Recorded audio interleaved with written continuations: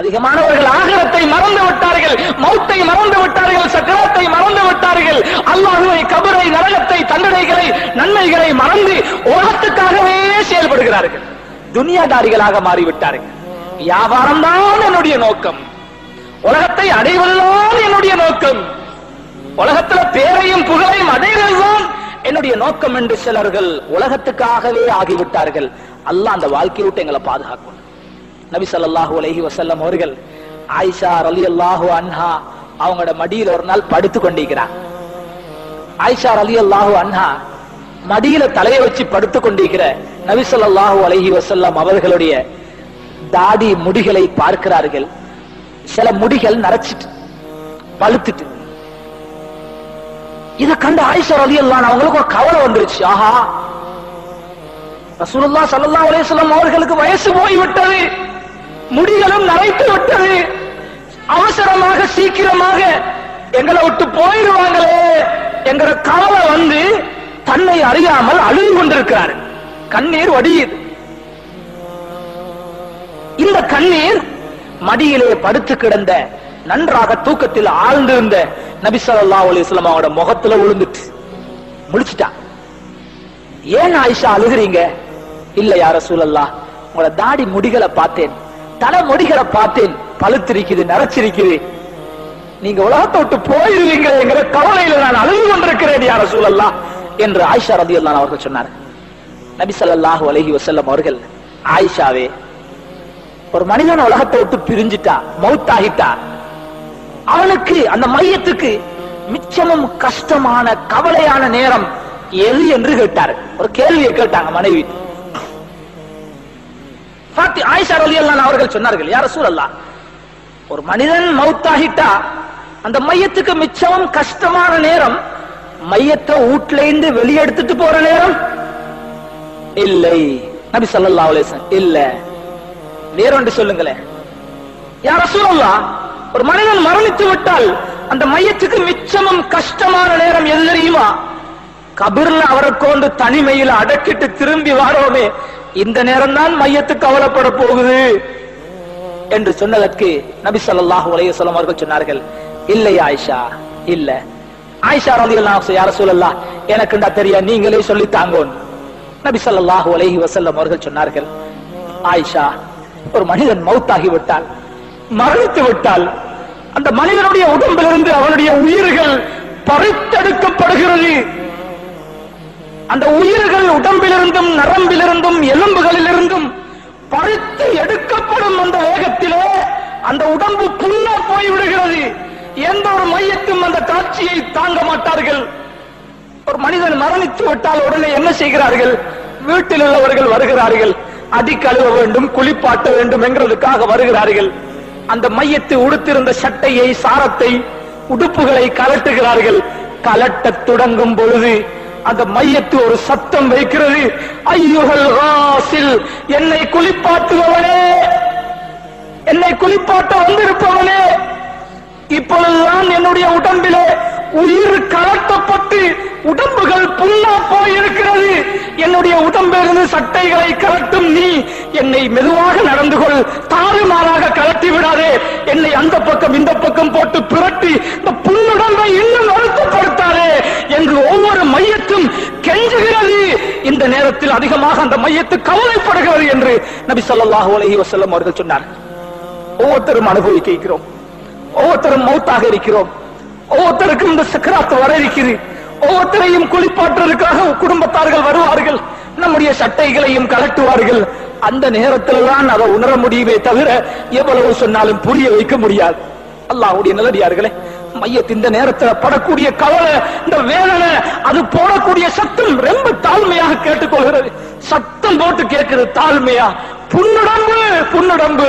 இதை தாக்கி விடாதே மென்மையாக மிருதுவாக பூ போல என்னுடைய உடம்பை நடத்து என்னால தாங்க முடியாது என்று அவனுடைய குளிப்பாட்டுவனிடத்தில் கேட்டுக் கொள்கிறது. இந்த சத்தத்தை மனிதனையும் ஜின்களையும் தவிர உள்ள உலகத்திலே உள்ள அத்தனை உயிருள்ள பஸ்துக்களும் கேட்கிறது என்று நபி சொல்லாஹ் அலைஹி வஸல்லம் அவர்கள் சொன்னார் அல்லாஹுடைய நல்லடியார்கள் அதை குளிப்பாட்டுவதற்காக சட்டையை கலட்டினதோட தண்ணீரை கொண்டு வந்து வைக்கிறான் மனிதன் குளிப்பாட்ட. இப்பொழுது இன்னொரு தடவை சத்தத்தை அந்த மையத்திடுகிறது மையத்து மையத்தென்றுக்குள்ள வேற யாரையும் யோசிக்க கூடாது. நம்ம ஒருத்தரை என்ன யோசிக்கும்? நான் நான் தான் அது. நான் மரணிக்கும் பொழுது நான் இப்படி சத்தம் விடுவேனே இப்படி ஒரு நிலைமை எனக்கு உருவாகுமே என்று நினைச்சா இன்னும் லேசாக இருக்கும். அல்லாஹுடைய நிலடியார்களே அந்த மையத்தை இரண்டாவது கத்துகிறது. குளிப்பாட்டுபவனே நீ தண்ணீரை கொண்டு வந்து வைத்திருக்கிறாய். என்னுடைய உடம்பு புல்லுடம்பு நீ கொண்டு வந்து வைத்திருக்கும் இந்த தண்ணீர் என்னுடைய உடம்பு தாங்காது. அந்த தண்ணீர் சுடுகிறது. கொஞ்சம் ஆற்றிக்கொள். ஐஸ் தண்ணிய போட்டு ஊத்திடாது. என் உடம்பு தாங்காது. நல்லா சுடு தண்ணியையும் போட்டு என்ன குளிப்பாட்டாது. என் உடம்பு தாங்காது. சூடும் இல்லாமல் கடும் குளிரும் இல்லாமல் நடுப்பட்ட சாதாரண தண்ணீரை என்னுடைய உடம்பிலே மெதுவாக ஊற்றி என்னுடைய உடம்பை இறுக்கமாக தேய்த்து விடாதே. உயிரோடு இருக்கும் பொழுது என் உடம்பை தேய்க்கிற மாதிரி நான் மௌத்தாகிட்டேன். என்று அப்படி தேக்காது இது கத்துகிறது. அந்த சத்தம் ஜின்களுக்கும் மனிதர்களுக்கும் தவிர எல்லா படைப்பினங்களுக்கும் கேட்கிறது நம்ம வீட்டுல ஒரு பூனை இருந்தா அந்த பூனைக்கும் கேட்கும். அல்லாஹுடைய நல்லடியார்கள் எல்லா மிருகங்களும் கேட்கிறது. எல்லா உயிரினங்களும் கேட்கிறது. பிறகு இந்த மனிதனை குளிப்பாட்டி விட்டு கஃனிட தொடங்கும் பொழுது இந்த மையத்தை சொல்லுகிறது கஃனிடுவதற்காக என்னை கொஞ்சம் தூக்குவீர்கள். கவனமாக என்னை தூக்குங்கள். என்னை கண்டனோடு என்னை புலங்காதீர்கள். கண்டனோடு என்னை புரட்டாதீர்கள். ஏற்கனவே வருத்தத்துல நொந்து போயிருக்கிறேன். என்னை கவனமாக மிருதுவாக கண்ணியமாக நடத்துங்கள் என்று கெஞ்சி கெஞ்சி கேட்டுக்கொள்கிறேன் அதனாலதான் குளிப்பாற்ற நேரமும் குடும்பத்தில் உள்ளவங்க அந்த இடத்துல இருக்கணும். குடும்பத்தில் உள்ளவங்க மையத்துடைய வேலைகளை செய்யணும். ரொம்ப கண்ணியமாக நடந்து கொள்வாங்க. புறத்தி மனுஷனுக்கு இதெல்லாம் விளங்காது. அவருடைய வேலையை முடிக்க அவர் அவசரமா செயல்படுவார். அது மையத்துக்கு வருத்தமாகவும் அமையலாம். அல்லாஹுடைய நல்லடியார்களே கஃனிடும் பொழுது அந்த கஃனை செய்து முடிக்கும் பொழுது சொல்லுகிறது என்னுடைய கஃனை மூடும் பொழுது முதலாவது முகத்து பக்கத்தை கட்டிடாதீங்க. முதலாவது என்னுடைய கால்களை மூடி விடுங்கள் இரண்டாவது இடுப்பை மூடுங்கள். என்ற முகத்தை கடைசியா மூடுங்க. கடைசியா முகத்தை மூடுங்க. ஏண்டா என் குடும்பத்தை நான் ஒருக்க பார்க்கணும். இதுக்கு பிறகு இவங்களை பார்க்க முடியாது. இனிமேல் நான் இந்த முகங்களை பார்க்க உலகத்துக்கு மீண்டும் வர மாட்டேன் கடைசியாக என்னுடைய வீட்டிலிருந்து நான் அல்லாஹுவை சந்திப்பதற்காக செல்லுகிறேன் கபருக்கு செல்லுகிறேன். என்ற முகத்தை கடைசியா மூடுங்க. கொஞ்சம் என் பிள்ளைகளை பார்க்கணும் வந்திருக்கிற சொந்தக்காரர்களை பார்க்கணும் என்று அந்த மையத்தை ரொம்ப பணிவாக சத்தமிட்டு அங்க இருக்கிறவங்கள்ட்ட கேட்டுக்கொள்வதாக நபி ஸல்லல்லாஹு அலஹி வசல்லம் அவர்கள் சொன்னார். அல்லாஹுடைய நல்லடியார்களே இந்த உலகம் சிறுசி. இதுல இன்ப இன்பங்கள் சிறுசி. இதை கண்டு நாங்க ஏமாந்து தீக்கிறோம். ஒரு பெரிய வாழ்க்கை எங்களுக்கு பின்னாலைக்கு மௌத்துக்கு பின்னாலே ஒரு நீண்ட ஹதீஸ். ஒரு சில விஷயங்களை ஞாபகத்தில் வைத்து. ஆகவே அல்லாஹுடைய நல்லடியார்களே இரவில் தூங்குகிறோம்.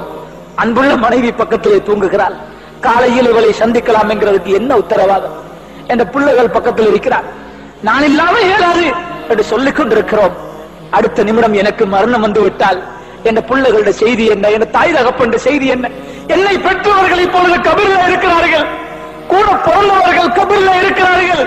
இந்த நிமிடம் இந்த நிமிடம் இன்று வெள்ளிக்கிழமை இந்த நேரத்தில் அவர்களுடைய கபிரிலே அவர்களுக்கு என்ன நடந்து கொண்டிருக்கிறது? என்ன நடக்கிறது? சிந்தித்து பாருங்கள் சகோதரர்கள். என்ன நடக்கிறது? சொர்க்கத்தில் இருக்கிறார்களா? நரக படுகொலையில் இருக்கிறார்களா? அவர்களுடைய நன்மையின் காரணமாக கபரில் இருந்து உயர்த்தப்பட்டு சுவர்க்கத்துக்கு சென்று விட்டார்களா?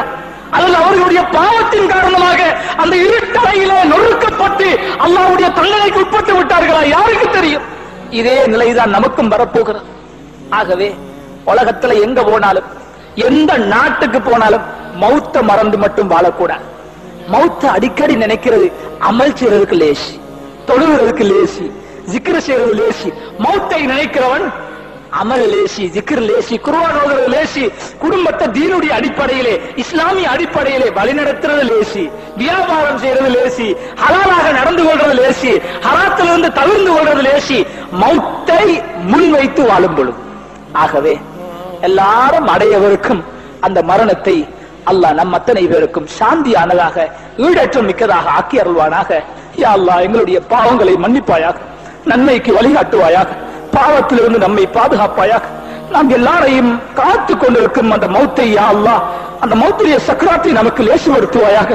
சக்கராத்துடைய வருத்தத்தை கொண்டு நம்மை சோதித்து விடாது யா அல்லா நம்முடைய உடம்புகள் தாங்காது யா அல்லா உன்னுடைய அருள் தேவை யா அல்லா உன்னுடைய கிருபை நமக்கு தேவைப்படுகிறது யா அல்லா நமக்கு நேரான வழியை காட்டுவாயாக. உனக்கு விருப்பமான வாழ்க்கையை நசீபாக்குவாயாக. நபிகளாரின் வாழ்க்கை வழிமுறைகளை நம்முடைய வாழ்க்கையில் எடுத்து நடக்க தௌபு செய்திடுவாயாக. பாவம் செய்பவர்களை பாவத்திலிருந்து பாதுகாத்திடுவாயாக. நன்மைகளை விட்டும் தூரமாக வாழ்பவர்களை நன்மைகளின் பக்கம் நெருக்கி வைப்பாயாக. உலகத்திலே சுவர்க்கத்துக்காக உழைக்க தௌபு செய்திடுவாயாக.